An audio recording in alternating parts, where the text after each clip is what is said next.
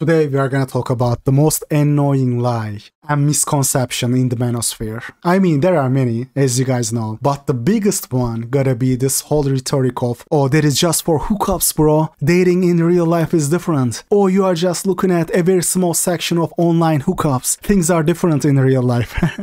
the notion that SMV doesn't translate into dating market value. And even if it does, it is at like 5% capacity. This is a manosphere lie, a normie lie that I hate the most. I mean, there are many, but this takes the cake. The others might be more ludicrous, but this one is more insidious because they use this argument, this false argument, to deflect and dismiss any data and misguide their viewers to their own benefit. One thing they don't understand, even many of you don't understand regarding why Tinder is a real life is that it isn't necessarily about a woman using it to find a serious long-term partner, but more about women finding out about their opportunities and options, discovering their superpower. Almost any young woman today in the West has either used a dating app directly or other social media sites, which are not dating apps technically, but let's be real, they still accomplish similar results, right? Women still get bombarded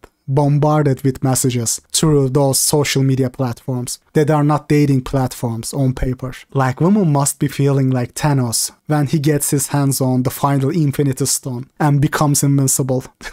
the feeling must be like that. I will tell you guys this personal anecdote. Here it is. This was back when Facebook was at its peak, either uh, 2011 or 2012, when literally everybody was on Facebook. A decade ago, when social media landscape wasn't like it is today, right? So I was talking to my sister about it asked her why I couldn't see her profile. I was like, yo, what's up with that? I can't click on your name. And she says, Oh, I said it private. You can't send me a friend request anymore. I get too many requests from creeps. And she showed me, guys. She actually showed me all the friend requests she has got. Guys, I was mind blown. An endless list of people. An 18 year old girl, all those guys were sending friend requests to an 18 year old girl to shoot their shot. It was getting so bad, she had to set her profile private. Meanwhile, I didn't even have a Facebook account because I knew how hard I would get mocked by everybody in my class. Think about it, man. Same genetic makeup, but black and white different lives. It hit me at that point that I don't have even 1% of her SMV, not even one in thousand. I remember when I graduated high school and was gonna start college that summer. We were going somewhere with her. We were walking and she just casually says, Dude, you now graduated from high school. Why don't you just get a girlfriend? I was like, easier said than done. Like, sis, I am on survival mode over here, in case you haven't noticed. I don't have hundreds of girls, even from different cities, trying to add me on Facebook just to talk to me. Of course, I didn't say that. I had to laugh it off. How could I say there's no point in denying it? I can't say that. Come on, guys, I can't say that. I had said something along the lines of, Oh, I am focusing on my studies right now. The time for that will come later. I couldn't say there's no point in denying it. It's nothing, okay? Just a place for people to talk about their problems. Like, literally the same genetic makeup, but she has limitless options that she was calling creeps. Brutal man. she called them a bunch of creeps. If I wasn't her brother, she would have called me a creep as well. My sister knew what kind of dating value she had, right there and then, guys. But according to Destiny and all the other Manosphere guys, oh, Rehab, don't worry, bro. In real life, things are different. She might have a higher SMV online, but your dating value, your dating market value in real life isn't much lower than her. It is about the same, bro. Brother, if only you knew. If only you knew. Oh, bro, that was then. This is now. 10 years later, she hit the wall, bro. You have better dating opportunities now. Comedians. oh, my bad. I just haven't hit my peak yet. I need to wait 30 years more. These guys are straight up comedians, man. I don't know. It is beyond me how anyone takes these guys seriously. Like, these guys are coping out of their minds. Bro, these days, most females find their partner online and they are bombarded with options online. The hypergamy is even worse over there. Like, they believe this online world is some mutually exclusive imagination land. No, bro, it is the real life. It is the real life now. But of course, because the last time people like Destiny and AMS were on the dating market as a non-famous, non-rich people, Bill Clinton was the president. They have no idea what is going on. They have no touch. Got it better with social media. You just have to be, you know, take better pictures and uh, be higher value. I can make that argument too, right? I couldn't sit on my couch on Tuesday and swipe right, swipe left. I had to get out and go to Walmart. You know, y'all guys know how to go to Walmart, right? So you don't want to look like you're in Walmart looking for women. So you got to get a bucket, you got to get a little basket and put a juice in there and maybe a loaf of bread and walk around and get phone numbers and shit. We couldn't swipe right and swipe left. So I can make an argument that y'all guys got it, got it okay too. But we'll say that for another day. Some people like AMS go even further to claim that online dating actually makes it easier, better for men than before. like, what are they smoking, bro? According to him, according to AMS, it is an advantage for men now compared to the past. Bro, these guys have no touch with reality it is only a positive, it is only an advantage for the top 1 to 5% of men. But for 95, 95% of men in general, and 99.9% of AMS and Destiny viewers, those oofy doofy guys, it is a brutal death blow to the SMV. I don't care about what they think, I care about what I think in my experiences. I have probably, I have probably fucked more women than most of these guys have in the audience, okay? the globalization has unlocked Chad to the world. The globalization of Chad, basically. Women don't see the local normie and think he's alright anymore. No, now they see the best and they believe they deserve that. They think they are entitled to that. I mean, I'm still in favor of geomaxing, but technology and online dating really dealt a powerful blow to geomaxing as well. I gotta admit that. The competition is just increasing more and more every passing year. Prices are going up, like these oofy doofies are going to the Southeast Asia and increasing the competition. They're flashing their money, flashing their passport, making it more difficult. Asian women know what white men look like now, what they can hook up with anytime they want. Like this whole notion that technology and online dating has only affected the hookup aspect is just comical. And this is the one that annoys me the most. But I will briefly talk about the honorable mentions as well. There are so many laughable copes, but I will just mention the major ones. I'm happy and living my best life. I have no regrets. But will you be like that in, in tw- uh, sorry, may I ask, how old are you? I'm not going to say. I'm, I'm, Wait, okay, are you under 40? I'm not going to say. Then you're Don't about worry. 40. Don't worry about it. No, but it is important because there's a lot of people who make a choice at a younger age going, I'm fine. It's like women who say, I don't want kids. I'm 32. I don't want kids. I'll wait. And then they get to 40 and they go, "Eh, that was a bad decision. I, I, I got lucky. I had kids. I got lucky. But if I had been in my situation now without children, I would be depressed. I'm telling you now. I would really regretted that decision. And I think there's, excuse me, please. I understand that women have like, you know, a time limit on how long they can have children and, and, and it's it's not the same for men. But there's a lot of men out there who, for instance, my students, they've delayed, delayed, delayed, saying, No, I'm happy, I'm happy doing this, I'm happy jerking off to you porn, I'm happy to not have to, you know, try harder with women, it's fine. And they get to a certain point, which is why I was asking your age, a certain age point where they say, This is shit. Dedicated my life to trying to find some woman. Uh, you shouldn't or- dedicate your life. You shouldn't dedicate your life to it. I don't agree with that. I say to my students, don't dedicate your life to this, but just know what to say and do when the moment happens. Right. When the, mo- when the moment happens, when the welfare state and the family court and all this bullshit goes away and uh, patriarchy is restored by necessity, I'll be like, all right, looks like meat's back on the menu, boys. Mhm. And then I will go, I will canvas the wasteland and I'll say, where my bitches at? But until that day, I'm going to bide my time, build my nest egg.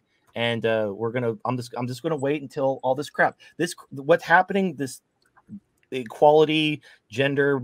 It's it's completely unsustainable. A hilarious notion, idea some MGTOW guys love to cling on to. The West is gonna collapse. The Doomsday Group. Oh, I am just biding my time. When the West collapses and the patriarchy is restored, then the meat is gonna back on the many boys. Brother, you might as well just put a ring on that doll of yours, cause you are gonna keep dating that. Oh, this is unsustainable. The patriarchy is gonna be restored any day now. You just wait for it. Keep waiting, brother. Keep biding your time. Keep having romantic dinners with that doll of yours. I mean, completely delusional. Bro, like we are at a point where they are gonna send us to the prison if we criticize the Barbie movie. You say you didn't like the Barbie movie, and they are gonna bury you under a freaking prison. And you are talking about oh patriarchy is around the corner. Anyway, now come on, man. Look, some people are indeed content with TFM lifestyle, true loners, but if you are not a true loner, if you are not a genuine loner at heart, which vast majority of men are not, let's be real here. And if you fool yourself into thinking that you are, you are that loner, you are only gonna suffer by being forever alone. You are gonna make yourself suffer, not someone else. Because male friends grow apart with time. Or just bide your time dating a plastic doll till the West falls and patriarchy is restored again. Bro, never gonna happen. You are gonna wait forever. You keep waiting and you will grow into an old dude with no hair, gray beard, no friends because people just grow apart with age. Those high school friends you had, everybody goes their own way. You keep waiting for West to fall and patriarchy to be restored while having romantic candlelight dinners with a plastic toy. You are gonna keep watching TFM forever, which is exactly what he wants. Guys, I also live alone. But I am not coping unlike those MGTOW guys. I am truthful with both myself and you guys. That is the difference. Oh, I am just biding my time till the patriarchy is restored. sure. Keep waiting, brother. Any time now. Look, people are just not cut for that single life. Most humans are not. Very few people will genuinely enjoy that solo dolo forever lifestyle. And I promise you this, guys, I promise you, those MGTOW content creators are not one of those. Those true loners. And I doubt TFM is one either. I don't know him personally, but just the fact that he catches emotions for his doll once it had female looking head, arms, and it resembled a female, just that fact tells me that he's longing for it. Having like a torso doll, like an armless, legless, headless torso, it, that just feels like a sex toy. But when you have a full doll that has a face and hair and hands, and you can actually like give it hugs and kisses and feel it, uh, just something there's a connection there. And as you have as you have sex a vasopressin bond Did you say a connection? Yeah.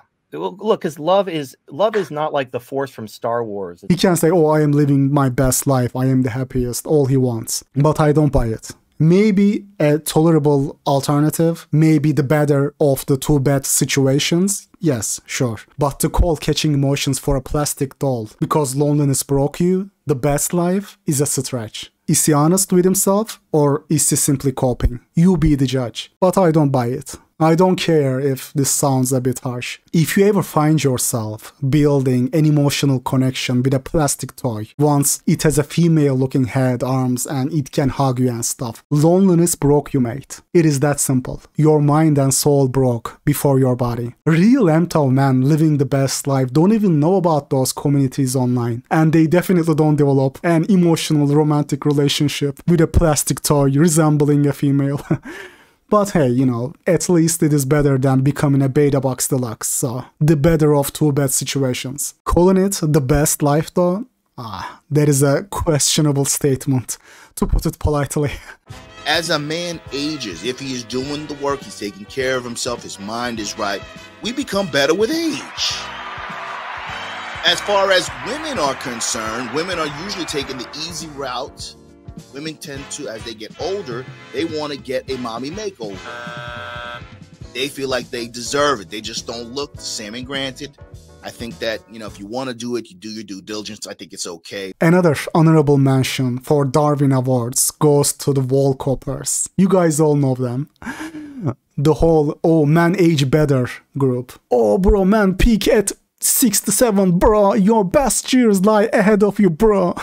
Brother, like, the wall exists only if you compare older women to younger women's SMV. But since young women SMV is so ludicrously high, even if you cut it by 75%, 80%, whatever, it is still pretty damn high, right? Higher than most young men. There was even a comment uh, under one of my last videos. A guy was saying something like, my 65 year old mother has more options than me Bro, that was a brutal comment. And the sad and funny thing is, he's not an outlier. That is the case, I believe, I suspect, for at least half of the male population. I created a Tinder account for me and my babushka.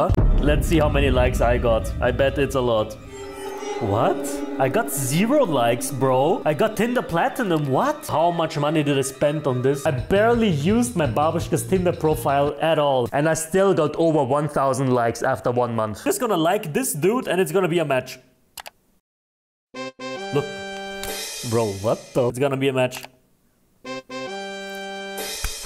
How is this possible, man? Match.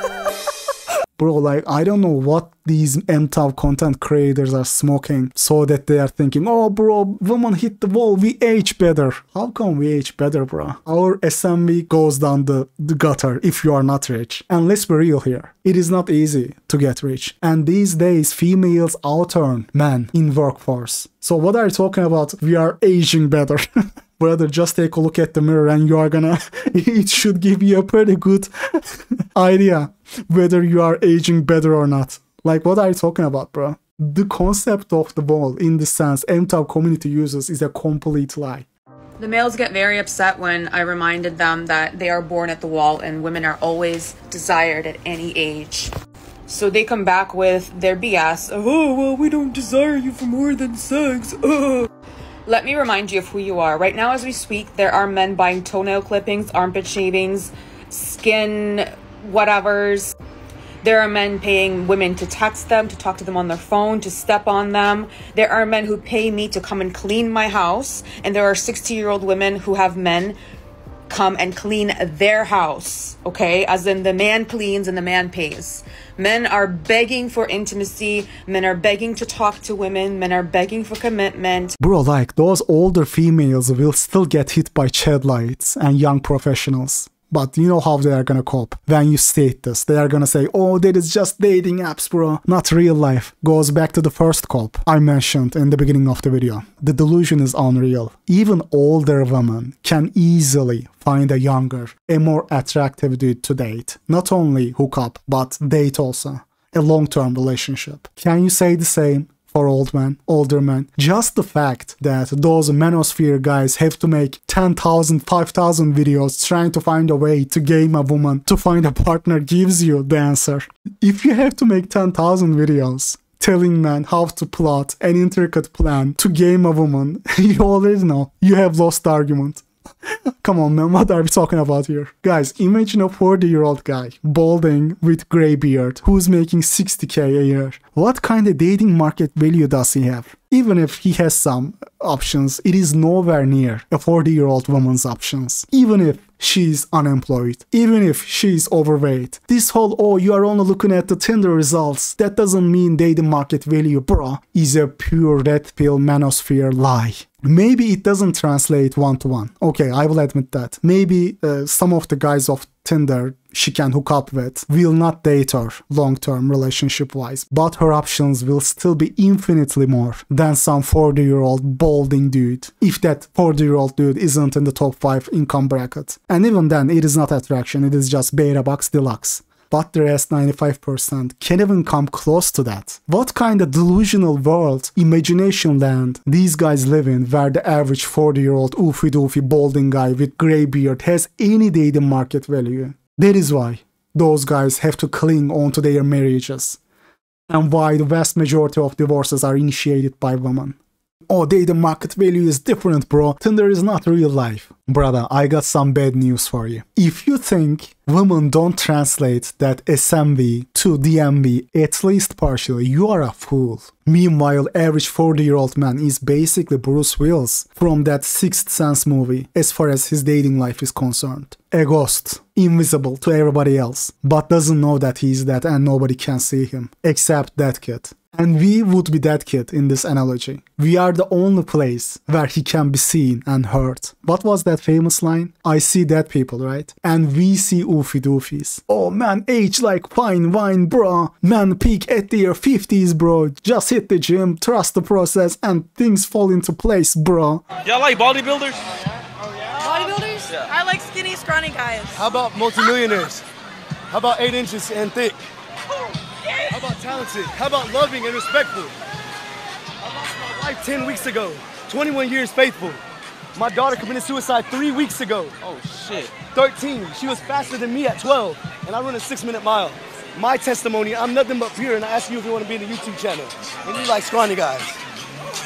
I know he trauma dump on us like that. Damn. And the final honorable mention goes to the all women are incapable of love group. And I know a lot of you believe this as well. Guys, they are incapable of loving you. I am sorry, I gotta be honest with you. Even if this offends you. Friends are honest. You, yes, they are incapable to love like comedy, how they project their experiences and internalized fate onto others. Or everybody has to trick like us, right? Cause examples like Jeremy Meeks never happen. Or girl who gave her kidney to her cheating boyfriend. Dude, in my personal life, I have seen women do the craziest shit for men they didn't wanna lose. Just because they don't do it for you doesn't mean they are incapable of doing it for the right guy. It is just you are not that guy. It is just women have higher standards than men. Men think the average girl is attractive enough, but the same doesn't go the other way around. But overall, since women operate on emotions, they tend to do even wilder stuff for their partner than men. Some stuff you're gonna see women do for Chad, your own brother won't do it for you. Especially if you are raised in the West with a prevalent each man for himself culture. Forget about giving you his kidney. Your own cousin or brother will write you off for a couple grand. Happens all the time. The dude doesn't talk to his own brother. I asked why. Oh, he screwed me out of 10k, didn't pay it back. I mean, happens all the time. I donated my kidney to my boyfriend and he cheated on me and this is that story. A few months after the surgery, my boyfriend went to a bachelor party in Vegas with some of his Christian friends.